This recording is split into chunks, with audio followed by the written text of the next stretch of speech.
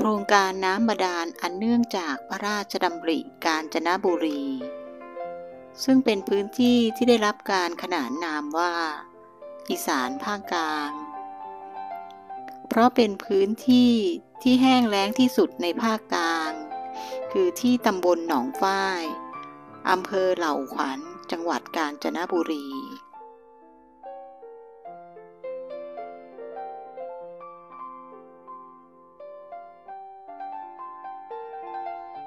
เพราะพื้นที่ดังกล่าวอยู่ในบริเวณเงาฝน หรือพื้นที่อับฝน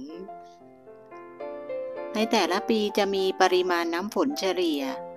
แค่ 800 ถึง 1,000 มิลลิลิตร ต่อปีเท่านั้น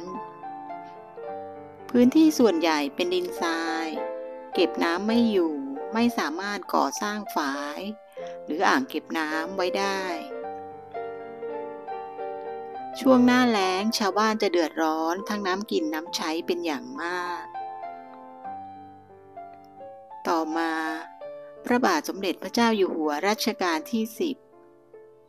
พระองค์ทรงมีพระราชปณิธาน และตั้งใจอันแน่วแน่ ในการทรงงาน เพื่อจะสืบสารรักษาต่อยอด โครงการอันเนื่องจากพระราชดำริของรัชกาลที่ 9 อันจะเกิดประโยชน์สุขแก่ประชาชน โดยทรงรับโครงการจัดหาน้ำบาดาลขนาดใหญ่ แก้ปัญหาภัยแล้ง หนองฝ้าย เหล่าขวัญจังหวัดกาญจนบุรี ไว้เป็นโครงการอันเนื่องจากพระราชดำริ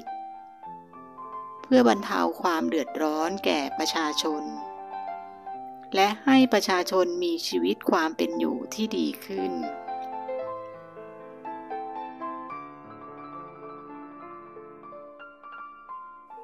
เพราะพระองค์ทรงห่วงใย ประสงค์นิกรของพระองค์เป็นอย่างมาก